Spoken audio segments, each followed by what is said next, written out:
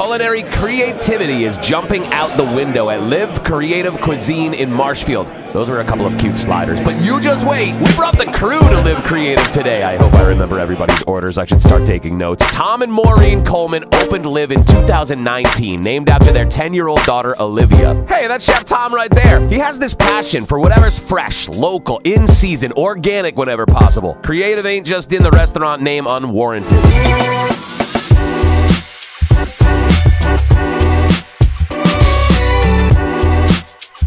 We could have ended the meal right here and have been happy, but we were just getting started. My brother in law Ben got the chicken sandwich special, which we got word is going on the menu full time for a run, which is great because it was so good and stacked high. Thank God Ben can unhinge his jaw like a snake. My sister in law Ursula got the cod po' boy, delicious. Jaden got the spicy pork nachos. We took turns eating his nachos like it was an episode of Hot Ones. Definitely good burn on those, which we appreciated. Kristen got the beautiful chicken cordon bleu with killer greens on the side and perfectly balanced, comforting sweet potatoes. Lily and Chloe had things too, but I can't remember. And Nana had. What are you having?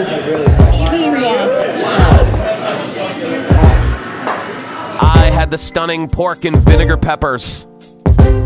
Gorgeous. I love Liv. I love the staff. That was our waitress right there, and she was a superstar. Everybody here was kind and happy, and yes, we were here on 420, but that had nothing to do with the happiness levels. It's just a great space serving special food. Ugh, and we didn't even talk about the crazy outdoor space all spring and summer. Put this space in your rotation. It's cool, it's comfortable, it's awesome. Don't forget, tell Siri to add a reminder or something. Go to LIV Creative Cuisine and devour their creativity. We rolled in like a pack of cicadas and ate everything in sight. Then Nana dabbed like 40 times because that's how good this place is.